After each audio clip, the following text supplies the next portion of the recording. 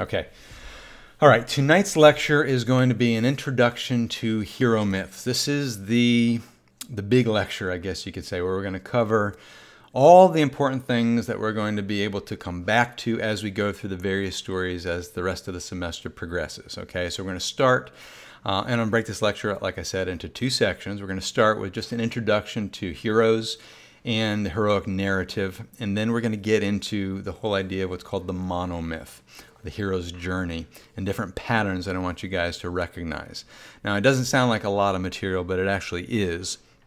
And um, I'm going to go ahead and we'll get us started with this intro. Now, you've probably heard of heroes before. I mean, this, the term is not strange. Almost everybody has an idea of what it means to be a hero or have a picture that pops into mind when you hear the word hero.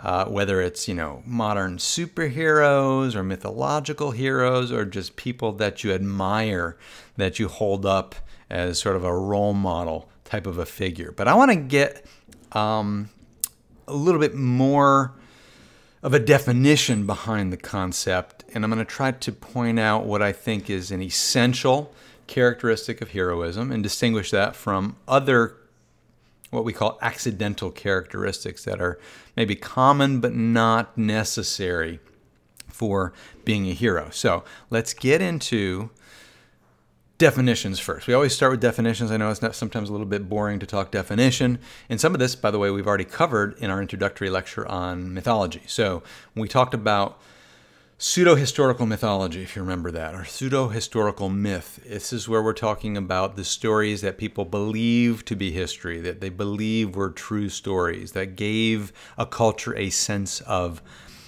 past, uh, a sense of purpose. The ones that are believed, right? These are the characters that are the most developed, right? You've got really complex personalities, and they're the stories that we tend to resonate with, right? You got the more than human figures that have their failings, their frailties. They've got personalities that are flawed, a lot like ourselves. Not not every character has flaws. You're going to see some stories that we're going to do this semester where the characters are almost too good to be true, but for the most part, the standard mythological hero is one that is very much like ourselves. Um, and that's one of the reasons when the motion picture industry makes action films and you know stories that are mythic or based on myth, they're pulling from the hero stories. And they're not pulling from creation narratives or fertility myths or other types of stories because those tend not to be as dynamic. They're not as deep. They're not as complicated as these heroic legends. So I gave you some definitions legend, saga, epic. I'm just going to revisit those briefly so you have in mind what we mean by the term. So a legend, we'll say, is a myth that we apply to an individual personality. Uh, it's possibly based on some historical reality. So, in other words, there's some kind of core truth behind it. It's either at least promoted as true, or there actually was some historical event that maybe got embellished along the way and passed down in some oral tradition and is manifested in a legend that um, usually complicates the actual history. So, again, they're believed to be true, they're set in the real world, and their characteristics of the characters are very much realistic. Um, they can be sacred, they could be secular. Doesn't matter whether this is a religious hero. Some traditions have these kinds of sacred figures that's supposed to be, you know, role models within different faith traditions. But you could also have secular figures that represent more of a national identity. And these stories are going to teach, they're going to inform, they're going to warn, they're also going to be entertaining. And the example that I'm going to give you here is a story of King Arthur as a legend. We're going to look at that story later this semester, and it is probably one of the most famous legends out there. As a matter of fact, there's more stuff written about King Arthur than any other mythological character in the history of Western literature. Um, and the picture that I've got on the screen, of course, is King Arthur. Hopefully, you know this scene. If anybody is familiar with the Arthurian legend, the um, the uh, giving of Excalibur from the Lady of the Lake. And uh, on the other side, you also have a very famous story, which I'll get to in a second because I guess it's listed down below. But okay, so that's legend. Uh, saga and these terms, by the way, can be used interchangeably, though there are distinct differences. If you, you know, were to look these words up, saga actually comes from the Norse word meaning to say, and we're here now talking about a myth or legend as applied to a series of events. Right? This is how we're going to stipulate the definition. Um, could be covering generations within a family, could be a number of um, families or characters interwoven in a very complex narrative. And again, it's rooted in history, purported to be history, and um, passed off in that way. And the one big saga that we're going to look at later this semester, which is one of my favorite stories, is the Volsunga saga, which is a Norse story. Now, the word saga, remember, comes from the Norse. But we tend to use these terms interchangeably today, right? We could talk about something being a legend or a saga at the same time. We can talk about, uh, I think I've even used the example of Star Wars, right? The Star Wars saga. We use that term to apply to, you know, big events, big stories, multi part stories, and things like that. So, um, the original definition has been obviously expanded. The third term that you've got on the screen is epic, and epic is really a style of poetry, right? If you want to be strict about it, it's a long narrative poem, and it usually recounts heroic events. So all the great epics in world literature usually deal with heroes. Um, Gilgamesh will fall into that category. It was a poem. Uh, the Iliad and the Aeneid are the two that I've got on the screen there, and of course, here's the picture of the famous Trojan horse. If you don't know that aspect of the story, that is actually not mentioned in the Iliad. It's actually mentioned in the Aeneid, um, but we'll cover both of those stories later on. But they're epics. Now, every once in a while, you'll come across a story that's called an epic, all right? Um, that is not typically or te technically a poem. So, for instance, I've heard the Volsunga saga referred to as a prose epic. Um, in that sense, again, we use the term in a broader way. It's not necessarily always used of poetry, though that's you know strictly speaking what it is. So um, epics will include legend and saga. Okay, so that's that's good enough as a background for those terms.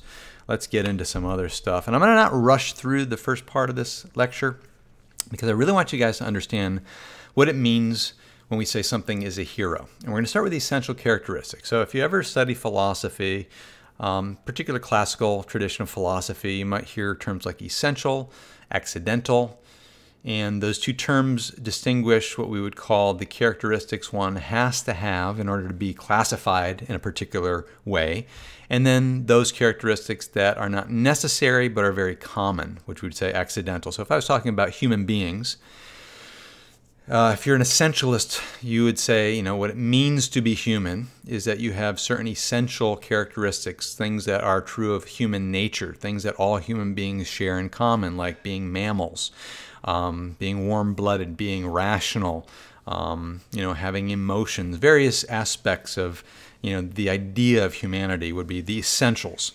And if you're missing what would be essential, like, you know, if you're not a mammal, for instance, then of course you wouldn't be a human because part of what it means to be human is to be a mammal. All right, so that's an idea of what we mean by essential. They need to be there, they're necessary characteristics. Accidental characteristics would be things like skin color, hair color, um, the things that can be different from one person to another. They don't make you human, okay? They're individuating um, features, but since they're not essential, you know, if you don't have blonde hair, doesn't mean you're not human anymore. That's what we mean by accidental. So I'm going to give you, starting with um, the essential characteristics as far as what is a hero. And the first one is you have to be a role model. And what I mean by role model is not somebody that you admire. Uh, what I mean is you have to be a character or a figure that models or even challenges the virtues and values of a society. All right? So this sense, it's somewhat culturally dependent because there are different virtues and values of different cultures, right? Maybe uh, uh, um, a culture like ancient Britain might have different virtues and values than might be recognized in ancient China. But there are also virtues and values that tend to be transcultural, right? Certain things that we can recognize across the board. Um, if you ever study, you know, a philosophy like moral philosophy or ethics, you'll come across some of these types of discussions. You know, are there universal virtues, values, stuff like that? Um, I think when you start reading the stories from around the world, it, you're bound to come across common virtues and values. So a hero is going to try to model those virtues and values. They're going to try, in sometimes um, ways, to challenge them. Maybe they're going to critique the virtues and values of society and try to put forth a, a higher virtue or a higher value. And even though these heroes are very often flawed and don't perfectly model the virtues and values, they'll at least be useful in teaching these things. Okay, so the hero is supposed to be not just a model, but they're, what, what they're teaching really is how to live. And maybe even more important than that, they're there to teach you how to die. Okay, and this whole theme of death, we're going to come back to this over and over again tonight and over the course of the rest of the semester because I can use that term in a few different ways. But dying is a very, very important deed, I guess you could say, of a hero.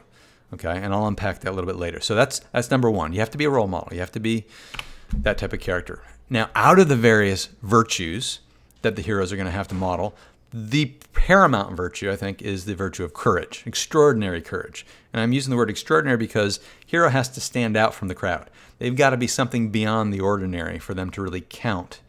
Okay, if their courage is at the same level as everybody else, then they're not going to be a hero, or your definition of hero is going to be so broad as to be meaningless, right? If a, if a definition isn't precise enough and includes too many things, um, then it doesn't rule out enough to be of value, right? All of a sudden, you know, your definition is so broad, then it's just going to be synonymous with being human, right? Everybody's a hero. Well, that's not going to work. Okay, we want something a little bit more precise. Now, here's the question for you guys, and you could, you know, text this if you would like. Um, what does that have to do with fear, right? Because fear and courage have a relationship, right? The emotion of fear. Now, when you think of courage, what comes to mind? Just go ahead and text me. Uh, does it mean for you an absence of fear? All right. Okay, very good. That's that's actually exactly what I was trying to hopefully get somebody to give me. Is the idea of courage is the ability to do something even when you're afraid. As a matter of fact, I would say fear is essential to courage. Right, the person without fear is not a courageous person. Okay? The person without fear doesn't need courage. The whole idea of courage is a way of mastering the emotion, right? To be able to act in spite of your fear.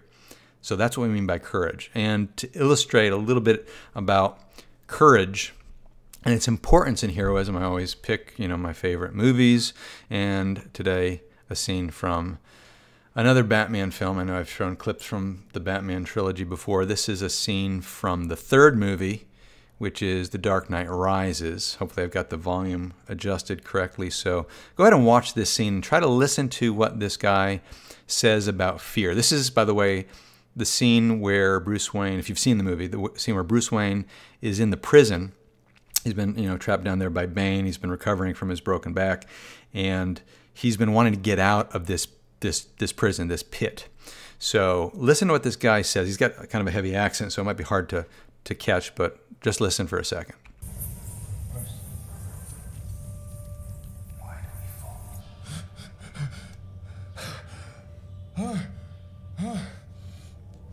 You do not fear death.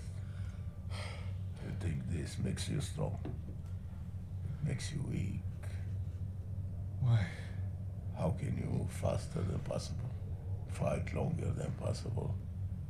Without the most powerful impulse of the spirit. The fear of death. I do fear death. I fear dying here. While my city burns.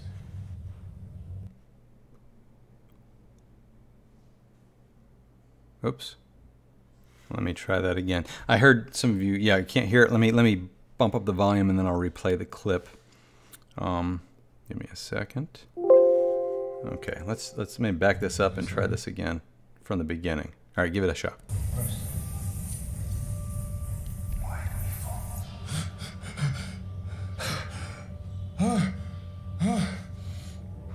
You do not fear death. You think this makes you strong. It makes you weak. Why? How can you move faster than possible? Fight longer than possible? Without the most powerful impulse of the spirit. The fear of death. I do fear death. I fear dying here. While my city burns. There's no one there to save it. Then make the climb.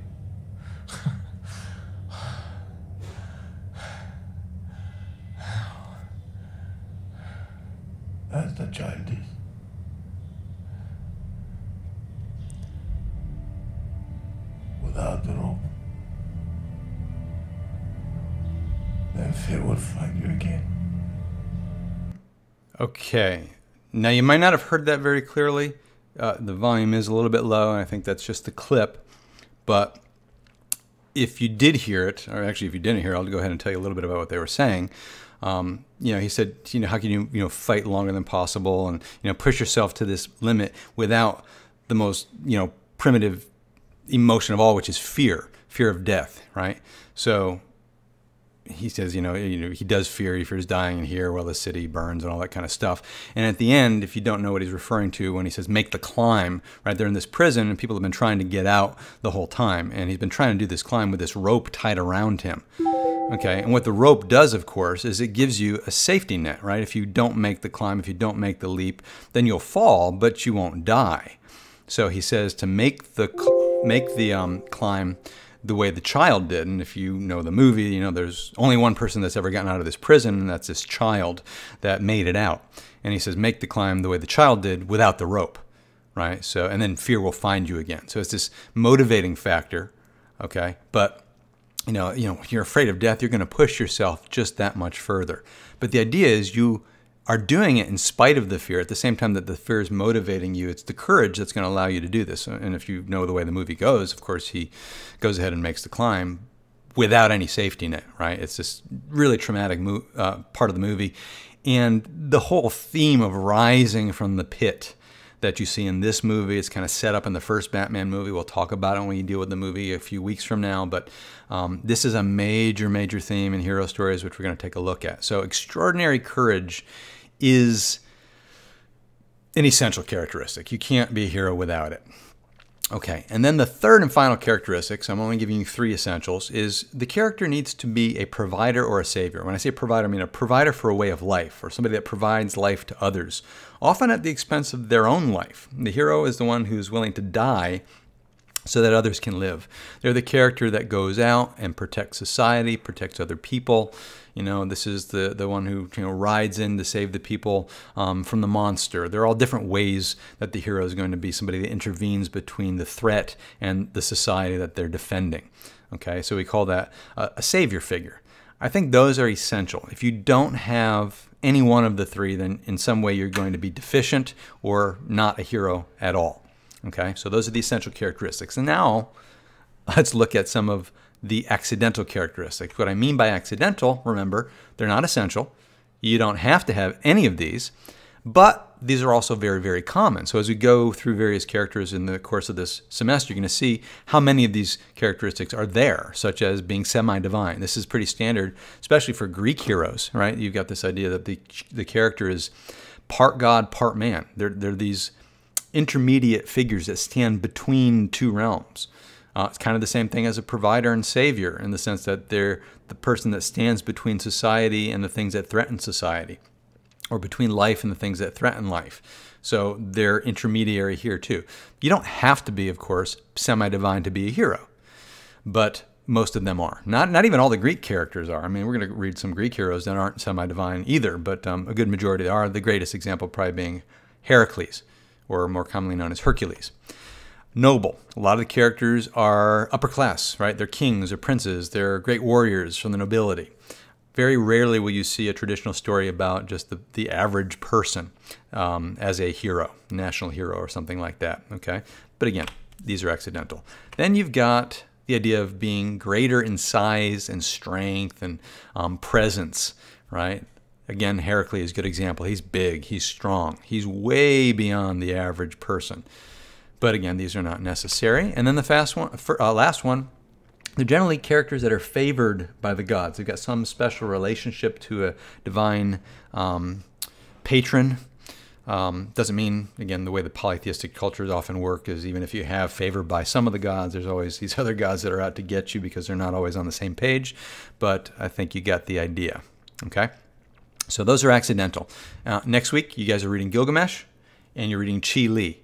When you're reading those two stories, I want you to actually think about essential versus accidental characteristics and try to measure Gilgamesh against Chi Li uh, just as a comparison. And we'll talk very, very briefly about Chi Li. I probably won't spend a lot of time on the story, but it's a great example of a hero story, though there are some differences between the big stories that we're going to cover. Okay, so that's basically what a hero is, but I also need to clarify the difference between what I would call an objective view of heroism and a subjective view of heroism. Back in the day, I used to assign students the task of writing a paper about heroes, what they think of a hero. You guys are still doing something like that this semester, but you're probably also familiar with the terms objective and subjective, though people tend to get these confused. I don't know. Um, it's just maybe a, that they're not taught as clearly as they ought the differences between the two terms. But what we mean first by objective heroes or objective heroism, we're talking about measuring a hero against certain standards. This is what I was trying to give you, and I give you an essential definition. The idea that the character is going to be a role model that exemplifies certain virtues or cultural standards okay? And the role model in this sense doesn't mean just somebody that you admire. That's important, okay? Because it's not based on the viewer. That would be the subjective concept of heroism, right? This is going to be a hero according to personal admiration, how the person is perceived. So there may be people in your life that you think of as a hero, somebody that you consider a role model or inspires you. It could be a family member or a teacher or somebody like that. And that's fine, but that's not what we're talking about here. Okay. Um, again, it seems to be a little bit of a softer view of heroism because again, it's going to be way too broad. Um, so the hero is, in that sense, is really telling is more of an expression of the viewer than the actual character. Okay, if that makes sense. Um, and like I said, it's it's too broad of a definition to be useful for a course like this. So, if you do write a paper that deals with this idea of you know heroism, I want you to try to uh, try to deal with it objectively if at all possible. Okay? So that's why I'm giving you these criteria so that you could pick out what measures up and what disqualifies, you know, or, or rules somebody out as a hero. All right, so that's what I mean by those two terms, and I think those are on the study guide. Now, let's talk about the heroic narrative. This is where we're going to slow down a little bit. We're going to spend most of this lecture and the next one dealing with the hero narrative. They're essential elements of a narrative the same way they're essential characteristics of a hero. Number one, and I gave you this in the beginning of the semester, it's a transformation tale. The heroic narrative is about transformation. The character, if it's a well written story or a well developed tradition, will transform in some way over the course of the tale. All right? They're dynamic figures, they're not static. It's one of the reasons we can identify with them because they're like us. We change over the course of our lifetime. And remember, change is not easy, but it's often necessary to become the person that you need to be. Okay? It's required for success. And the successful hero's journey is going to result in a transformation of the character along the way. All right, so keep that in mind. I'll, I'll be drilling this stuff in so that you get so sick of it you won't forget it. Now, there are two essential elements, I think, for the heroic narrative meaning there are two things every hero story must have. The first one is an adversary. Now, an adversary, you could say a villain, the bad guy, doesn't have to be a person. It can be, you know, a, it could be a monster. It could be even a situation that the hero needs to deal with. That is a threat. That is um, going to force the hero to manifest the characteristics they need to manifest. So the adversary and remember, I said the trickster very often can come across as an adversary. You'll see some stories where that happens because they're not only a prototype to the hero, they're also a prototype of the villain. Um, the adversary is essential because it's a catalyst for this heroic transformation. If you don't have an adversary, if you don't have a situation that causes you to change, then you're not really dealing with a hero story at all, right? So this is the catalyst to that transformation. The second essential element is the conquest of death. Okay, now I specifically call it the conquest of death because it could literally be a conquest of death, but it could also be, you know, talking about death in a, in a, a, different sense, metaphorically. Okay, and the hero will very often reach a point where everything is on the line. This is usually the darkest place they arrive in their quest, and they need to to conquer that thing. They need to conquer this ultimate um, ultimate thing. I can't think of a better word for it. And in their victory, they're going to complete their transformation. So this is the point, usually at the end of the story, where the hero has manifest for the first time. Okay, so you need an adversary as a catalyst for transformation. You need a conquest of death for the completion of the transformation. Those are essentials. But there are lots of other elements in the hero narrative. As a matter of fact, lots of writers have observed how hero stories work out according to certain patterns. And different writers have emphasized different patterns. And I'm going to give you a few different options. I'm going to start with a very generic, common pattern or elements that you might find within the heroic narrative. So I'll call these the heroic narrative common elements. All right, now I'll read through these and then, you know, I've gotten some visuals here so you could hopefully identify some of these things if you're familiar with some of these stories. But the unique birth is a pretty common pattern. And I'll just read through these first and we could talk about them briefly as we go. And I'm going to actually apply these to a particular series of movies in a second. But you've got a unique birth that the hero often goes through, which is not necessarily the birth itself, but it's usually something unique about the early childhood um, or beginning of the character. Then you usually have some kind of exile which is a removal of the character from one world, uh, the world where they're actually born into, and maybe you know it involves a loss of identity, which is the third thing. This idea of mystery of identity, not knowing who they are. Then you've got the idea of a prophecy or a destiny, sometimes revealed. A lot of these stories are going to have prophecies, and a sense of purpose is going to be brought along with that prophecy. In these early phases, you're also going to have the mentor figure that is going to come along and, and, and develop the character, prepare the character for the tasks that lay ahead. And then at some point early on, there's the call to adventure. The call to adventure, sometimes it's refused, sometimes it's embraced, sometimes it's refused and then embraced. But this is what's going to bring you into the main portion of the heroic narrative. The all the various activity um, is usually in the phase of adventure, uh, the journey, right, the quest. So the heroic journey can manifest in, in multiple forms. Sometimes heroes go on multiple journeys. Uh, sometimes there are multiple quests, but the quest is the thing that you're after. This is the ultimate goal, um, the boon, as it's sometimes referred to. And what it is may vary from story to story, but very often it's symbolic of really one important quest that, that we're all after, and we'll get to that later. Then you've got the next phase, bringing these up, the impossible task. That's a motif that we'll see very often where a character is assigned a task that might not literally be impossible, but is meant to be impossible. I'll break that down later because we're going to see a lot of those. Sometimes along the way, they're going to have a challenge of the opposite sex, something that could be a distraction from their journey. Sometimes it could be assistance along the way. Sometimes they'll get supernatural aid, some kind of god or magic item or something that comes along to help them. Then there's often a redemption. That is a very big part of stories, whether it's a redemption of the character or redemption of a, a family member. Sometimes it has to do with the, the character's father. Uh, then by the end of the story, there's often a homecoming, right? A return, sometimes a tragic end. A lot of the most famous and favorite characters out there don't have happy ending. Right? You're used to kind of the Disney world where, you know, the, the good guy uh, you know, rides off into the sunset at the end of the story. But in a lot of the traditional stories, even the best hero gets home and dies a tragic death. You know, Heracles being one that always comes to mind. And if you've only seen the Disney movie Hercules, then you have no idea what I'm talking about, but we'll get to him later. And then an apotheosis. If you don't know what that is, an apotheosis is basically the idea of becoming divine or becoming greater, um, kind of a spiritual transformation. Could happen along the way, could happen at the very end. Again, using Heracles as an example, if you know the story, he becomes a god after he dies, his tragic death at the end. It's an apotheosis moment.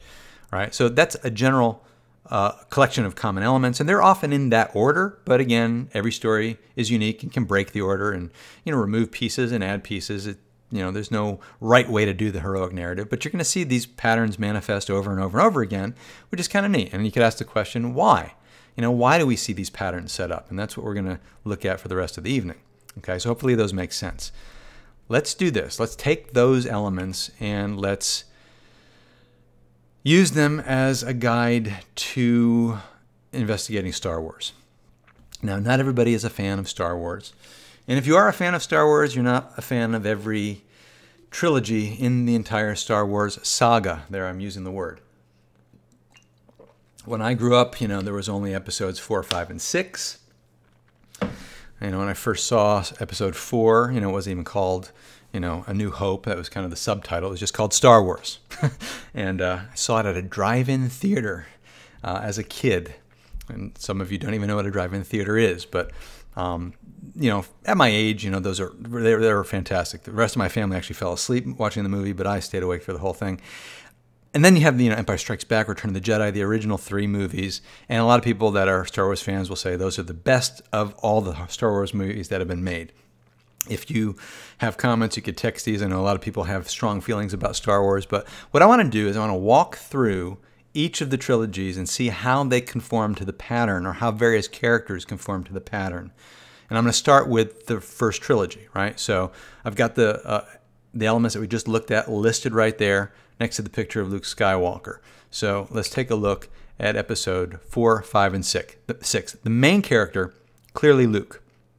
All right. When you talk about a unique birth, we don't really know about his birth in those movies. You find out more about him and his birth, I guess, in Return of the Jedi, but also in the prequel trilogy. Okay. So I'm not going to ask you guys. I mean, I guess I could ask you if you guys want to, you know, text, you know, what's unique about his birth. I'm probably not going to wait around for your responses, but you know, there was something unique about how he was born. He was part of a pair of twins, right? That's unique. You're going to see a lot, that a lot in hero mythology, by the way. A lot of the great heroes were born as twins Romulus and Remus, Castor and Pollux. Even Heracles is born as one of a pair of twins. Okay, so Luke and Leia, same type of thing. Um, their mother, right, dies in childbirth. Their father, you know, has nothing to do. He's already been removed from the picture. The children are then brought into exile, right? They're separated at birth Luke, in particular, is brought to this desert planet of Tatooine, and he's raised as an you know a moisture farmer uh, by his uncle. Doesn't really know anything about who he is. It's this mystery of identity. And there's a prophecy that keeps coming back over and over in these movies. This idea of you know, someone is destined to bring balance to the Force. Oops, I should be bringing up some photos. There's Tatooine, right? He has no idea about the nobility of his past. Um, the mentor figure is going to come into the picture. So he has various mentors. Mentors would be a teacher, a, trainer, a tutor. You know, Obi Wan initially, and then when Obi Wan's out of the picture, then Yoda comes in. Of course, Yoda will go out of the picture at a certain point too, because the mentor always disappears from the story, so that the hero has to stand on their own. And there's a call to adventure. In the very first movie, episode four, it's clear that you know this is a message. You know, Obi Wan. You know, we need help. Help us, Obi Wan, or whatever she says. I forget the exact line. And that's the call to adventure. It's going to start the whole story off in a direction. And that first part of the story is usually pretty brief, right? The call to adventure usually happens pretty early on. And then you've got all kinds of things along the way. You've got journeys and quests and traveling through the galaxies and uh, impossible tasks all over the place. Along the way, Luke has an encounter with the opposite sex It's kind of unique. Uh, that's, uh, again, the photo of the you know adventure in space. But the unique challenge of the opposite sex here happens to be who? And why is it a challenge is the next question. Right? How many of you are familiar with these movies? If you haven't already fallen asleep. Yeah, that's his sister, right? This, uh, that's obviously a problem. Doesn't know it. That's part of the mystery of identity. He comes to learn this later, but luckily nothing happens beyond this kiss. This is kind of, you know, as far as it goes. Along the way, of course, supernatural aid, the Force, right? He's got con, you know, not control of it, but he's you know being led and guided by the Force. There's a big redemption motif that comes in at the end of the story. This has to do with his relationship with his father. This really is the most important theme in the entire Star Wars saga, right? So this idea of Darth Vader, you find out. Hopefully, I'm not spoiling it, but the movie has been out for so long, you should all know that Darth Vader is his father by now. Um, various versions of a homecoming um, that's not one that's too clear because it's kind of an ongoing series of movies. Uh, Luke himself doesn't have a tragic end, but you do have a lot of characters that have tragic ends, including his father. And an apotheosis would be, you know, what happens after they die. So here's the famous scene at the end of Return of the Jedi where you've got Obi Wan, Yoda, and Anakin, you know, his father, if you have not seen the original cut of the movie, you might not recognize that particular actor playing the dead Darth Vader, but they've gone on to become these Force ghosts, right? They're, they have gone on to become greater than they were. As a matter of fact, in the scene where Obi Wan is struck down in the beginning of the movie by Darth Vader, he, he makes very clear. He says, If you strike me down, I will become more powerful than you can possibly imagine. It's this idea that there's something greater beyond this life. Okay, so pretty standard hero stuff. Uh, by the way, if you look at the top of the screen, I didn't even mention this, and I should have because it says Lucas and Campbell at the top. George Lucas is the guy that created Star Wars. Uh, Joseph Campbell is the mythologist who influenced Lucas in a lot of ways. He was one of the great um, writers on mythology in the 20th century, died back in the 1980s. But he wrote a work that I probably mentioned before, A Hero of a Thousand Faces. And that was really instrumental in guiding Lucas into how to put together this heroic story. Okay, so um, very much influenced by Campbell's pattern. We'll talk about Campbell later. All right, so that's the first series. Then you've got the prequel trilogy. Now, I don't think it's as good as the original. Some people disagree. But whatever your ideas about it, doesn't really matter. I'm going to walk through another character. The other really important character is Anakin Skywalker right? So Luke for the first three movies, Anakin for the prequel trilogy. This is his father. This is the character that's Darth Vader. They have the unique birth. Okay? If you don't know, it's basically the virgin birth motif, right? So Anakin doesn't actually have a father at all. So it's even more miraculous than Luke's birth. Um, as far as exile, he really doesn't know anything about himself. He's born into the condition of slavery, has no idea about his connection to the Force. So there's this whole mystery of identity. Again, the prophecy of bringing balance to the Force is still there. He's got various mentor figures that come along. I love that photo because you get the young boy Anakin with the Darth Vader shadow. Um, by the way, I, I'll probably talk about this later. Actually, I will talk about it right now, just in case I forget to later. But if you ever study um, the epic tradition, uh, one of the characteristics of epic storytelling is when you begin the story in the middle. Okay, in medias res is, is the term. You may have come across this in a high school literature class. So the Iliad, the Aeneid, um, the Odyssey, a lot of these famous stories begin in the middle, and then they'll kind of catch you up later. And that's what Lucas does. When he starts with episode four, I think he does this for a reason. Uh, it gets you right to the core of the story without all the stuff you need to lead you up to it. And then he goes back and fills that in later. For him, it was years and years later. But I want you to think about those of you that have seen episodes one through three. When you first watch episode one, there's this little kid who really isn't that interesting if you think about it. You're not, he's not compelling. There's nothing you're at all interested in with regard to the character except for one thing. There's only one thing that makes this character interesting, and it's what? Why do you care at all about this young boy, Anakin Skywalker? I know somebody can answer this question and it has to do with what you should already know about him before you even turn on the movie. He's Darth Vader, right? You're already introduced to the character. Darth Vader is interesting. Anakin's not. So that's a, one good reason that you don't want to start with episode one. Very good. You nailed it. Good. Okay, so as we go, mentor figures, you know, young Obi Wan, Qui Gon, a number of characters like that. You've got the call to adventure. You've got the quest, lots of quests and journeys, impossible tasks. And then the really interesting challenge of the opposite sex. Again, for him, it's a relationship that he's really not supposed to have because a Jedi is called to a life of celibacy. It's like being a monk.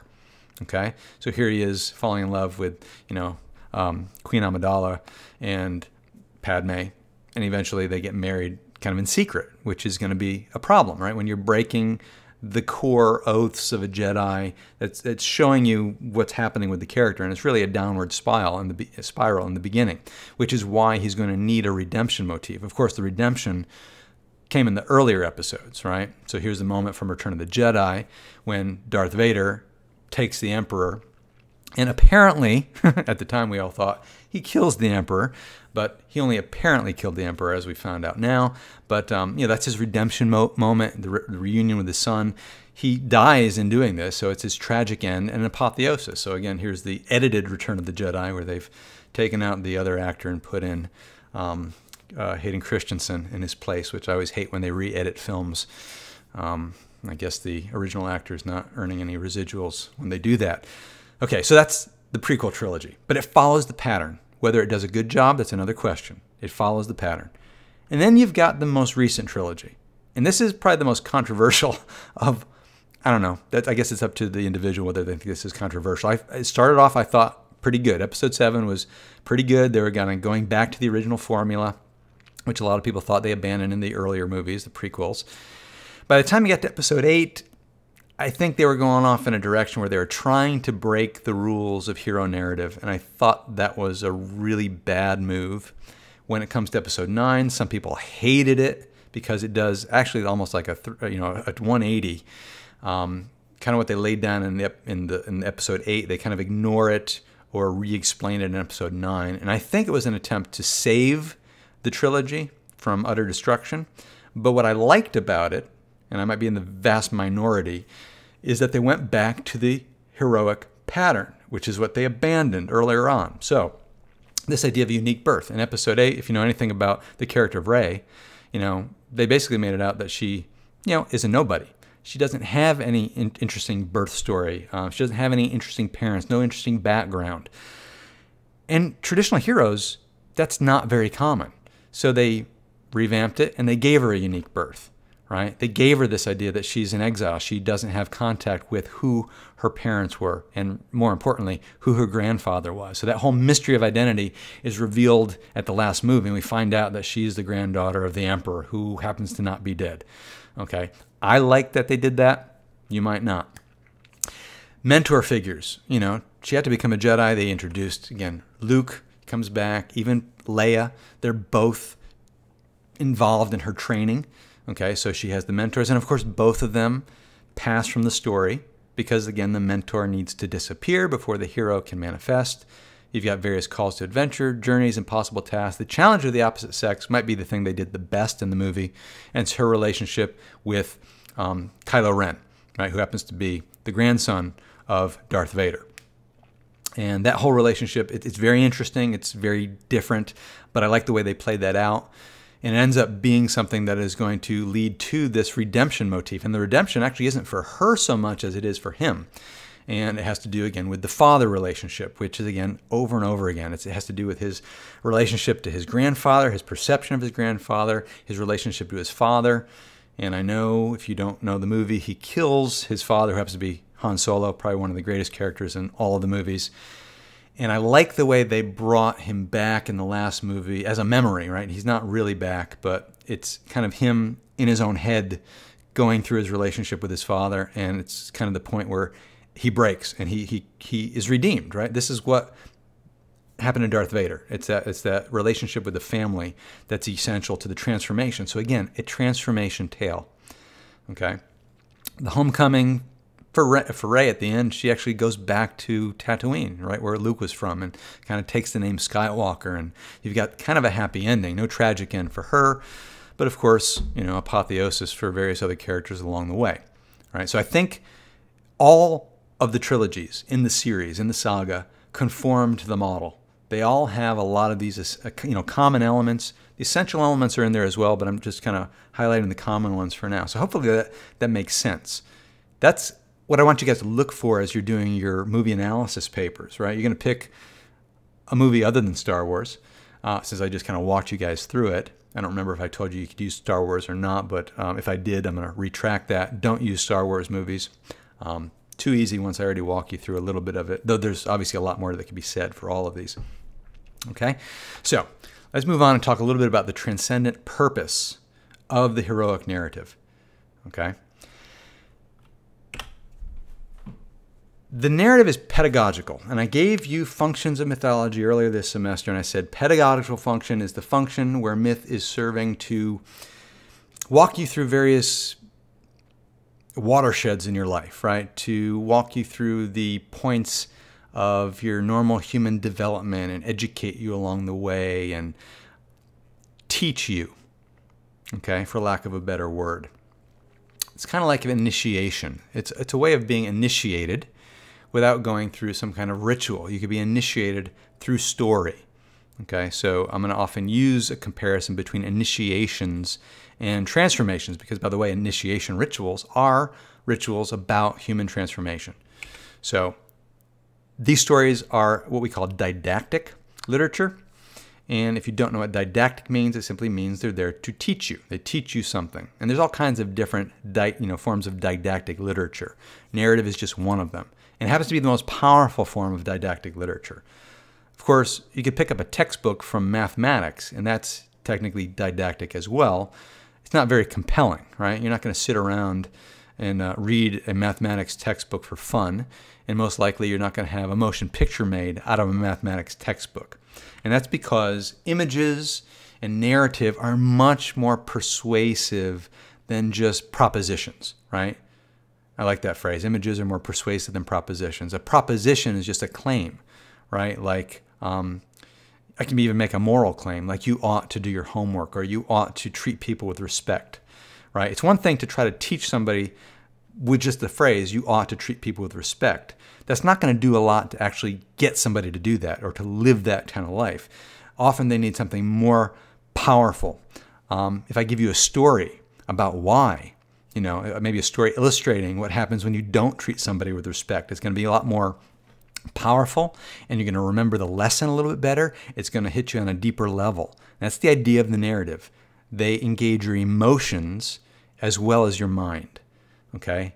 That's what the whole idea of visuals. I mean, I, I, I know you don't have to have visuals in the work for me to talk about images because the, the literature itself will create images in your mind, right? It's not, it doesn't have to be a comic book that you're reading.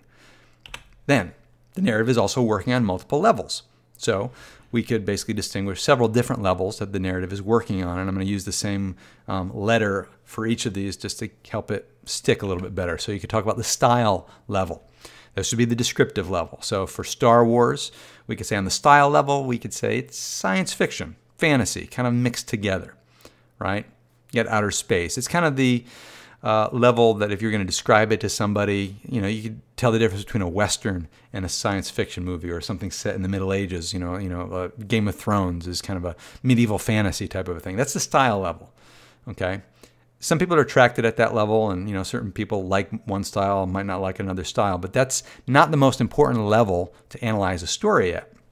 Beyond the style level, you've got the supposition level okay, or I should say maybe not beyond it, but deeper than the style level is the supposition. The supposition or presupposition has to do with the worldview that the story expresses. And it's going to have to do with all of your beliefs that undergird the nature of the story world. So, using Lord of the Rings, right? Lord of the Rings is a fantasy, um, you know, medieval fantasy type style but the supposition level is going to have to do with the world of magic and values and all that kind of stuff that makes the story make sense, undergirds the entire story. And you have to buy into the worldview of the story for you to really be able to engage with the story. All right, if you're the type of person that says, it's, you know, I, I, I just don't think that's real, um, well, partly you're missing the point, right? You don't want to say, you know, Lord of the Rings is not a believable story because I don't believe in magic. No, it's the whole idea is you have to suspend your disbelief, you have to buy into the worldview, and then you analyze it, you know, with those assumptions in the background. But there are always assumptions in the background of these stories. So that's the supposition level. Then you've got the significance level. And this is really the most important level in that the message, the meaning, the truth that's trying to be communicated comes across at that level right? So, you know, Lord of the Rings obviously is trying to say something about good versus evil, right? It's supposed to be saying something about uh, sacrificial activities and making the world a better place, standing up against you know the darkness, in various things. I'm, I'm, simplifying it; it's much deeper than that. But that's a significance level. There are lessons that you learn, okay.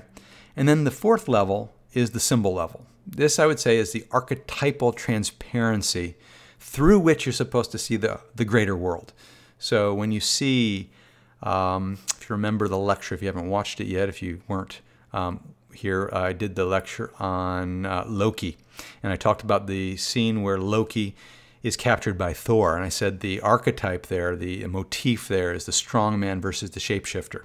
And I discussed how that could be a symbol or symbolic conflict that represents the whole idea of endurance.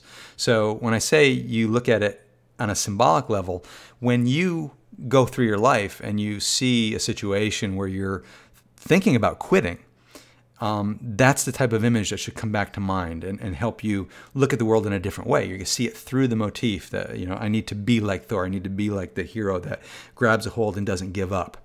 Okay, so it brings out you know some great significance in the world. Um, so again, it's an application level, so it should make a difference in your your own life, and that's again what we want to come back to with all these stories. Anyways, they should make a difference in your life.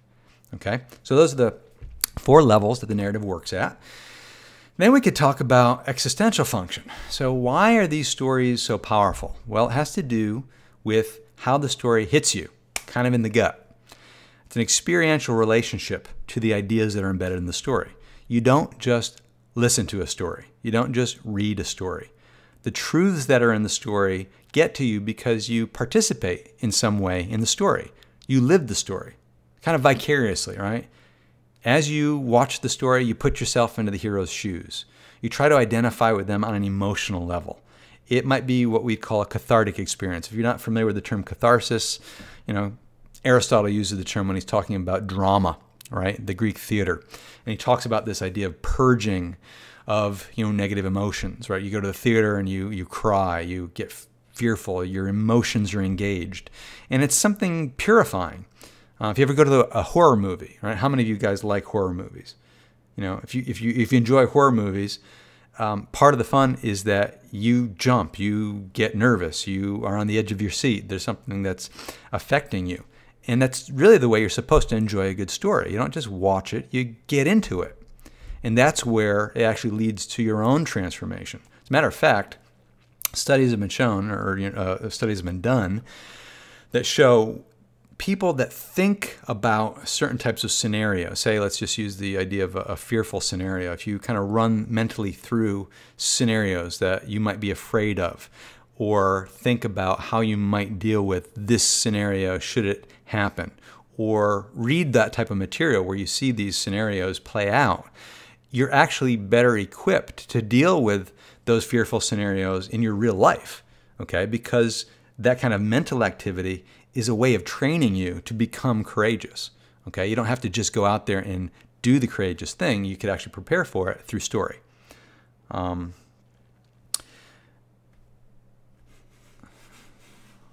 let me see. Okay, uh, you're a participant, right? That's the whole idea. Is you're going to participate in the myth, and you're not just going to watch it. Therefore, it's transformative. This whole idea of engaging in the story leads to your own transformation. Not just a transformation of the hero, it's the transformation of the person putting themselves in the hero's position, right? You experience in the story opens you up to different aspects of reality. You can call them spiritual aspects if you want, uh, though I'm not using this in any religious sense, okay? Um, human needs are often met. You know, a lot of people that study religion talk about um, how human needs are met in various religious traditions and even in the secular world. So, for instance, I know Mircea Eliade very much talks about how we get our needs met in these transcendent experiences. And if it's not in religion, it could be in you know sports. It could be in going to the theater. It can be in engaging in these things that are uh, take ourselves out of our normal, ordinary, everyday existence and connect with something beyond ourselves. That's the whole idea of transcendence. Okay, so this transcendent experiments, uh, experience and entertainment pulls us out of the mundane world into some world that's special, okay? And it's really a powerful experience. And it's its immersion into this world that is, you know, the key to personal transformation. Okay, so that's the idea of the existential aspect of the hero story.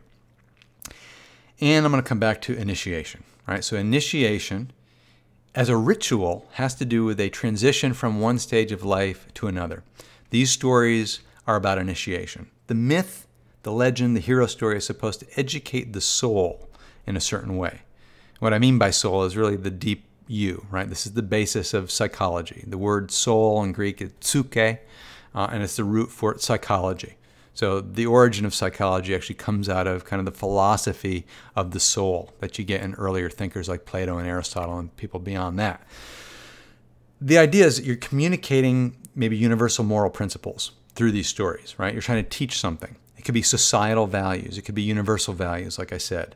And it's a useful tool to teach these things, but it's supposed to move you to becoming a virtuous individual, right? Or embedding these um, values and virtues in you. And it's not by just telling you, oh, this is how you ought to live or this is how you ought to behave. The reason it's so effective is because it's giving you a calling, right? It aids you. And the idea of virtue, if you're not familiar again with I guess Aristotelian philosophy is a virtue is a perfection. It's a characteristic that is in a better state than was originally there. Right? Nobody is born with virtues, according to Aristotle. Nobody is born courageous. You develop that.